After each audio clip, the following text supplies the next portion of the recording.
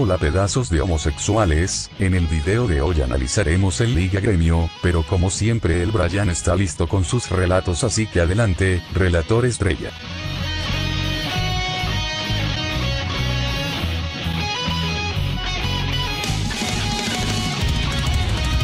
Hola bienvenidos a la sección más chévere, mis relatos, minuto 12, pase bueno filtrado, pasa al que está más libre que tu prima.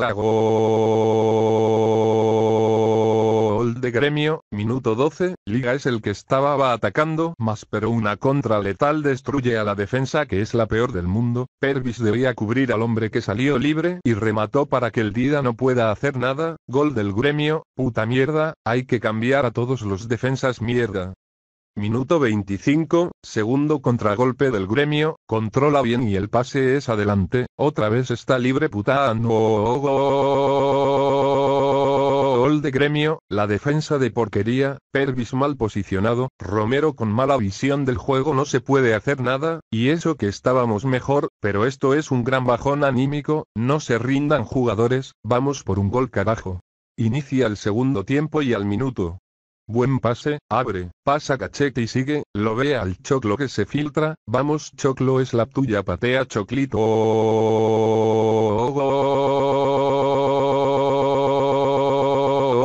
Gol, gol, gol, gol, gol, de liga, gol de Quinteros al minuto, salió como una tromba y adentro golazo de liga. Vamos arriba mi liga carajo. Vamos al minuto 52, controla bien y la abre completamente, si llega el del gremio, está buscando un hombre para el cabezazo, va a venir el centro. La despeja el Dida, ay no no no no no nunca despejes al medio mierda Domínguez. Pareces el banguera en ese despeje, la ley del portero número uno es nunca dar el rebote al medio, aquí mucha culpa la tiene el Dida, pero bueno, en esos momentos no se piensa en eso, se piensa en salir rápido y eso fue lo que complicó al Dida, bueno hay que seguir adelante liga, que quiero otro gol Albos. Y finalmente al 76 el pase es bueno a Ceballitos, ya vio a quién va a tirar el centro.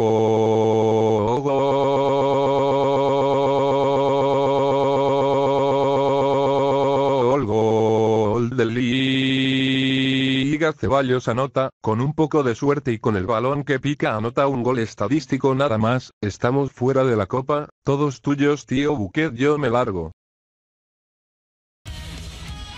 Hagamos el análisis, los defensas son los peores, de lo peor a Jovi, Romero y Pervis, que jugaron mal, no se entendieron en el juego en equipo y el individualismo les vencía a ratos. Al hablar de individualismo nos tornamos a hablar del cachete, que no le gusta jugar en equipo y alemán que es el peor, discúlpenme los que lo apoyan pero ya estoy harto hasta los nuevos de alemán, no debería ser titular, deberían empezar a banquearlo porque el liga no hace nada, es muy individualista, es impreciso y no hace juego colectivo, cuando centra los remates van demasiado lejos, y lo mismo pasa en los tiros libres que siempre cobra él, no sé, demasiado tiempo le hemos dado, el único buen jugador que tiene liga hoy en día es Edson Puch, madre mía, qué gran esfuerzo que se manda este muchacho por partido, hay que darle mérito aparte, ya que su esfuerzo ha sacado adelante al equipo, grande Puch, otro que nunca hace nada y últimamente ha sido fuertemente criticado por la hinchada, y sobre todo a los hinchas en redes sociales. Es Carlos Tenorio alegando que es un paquete, que es muy lento y que no juega a nada, no ha metido un gol y todo eso es cierto, Carlos es un 9 que no sirve para nada, lo único que hay como resaltar de él es que si tiene el físico de un joven, pero hay que admitir que no su misma técnica ni precisión,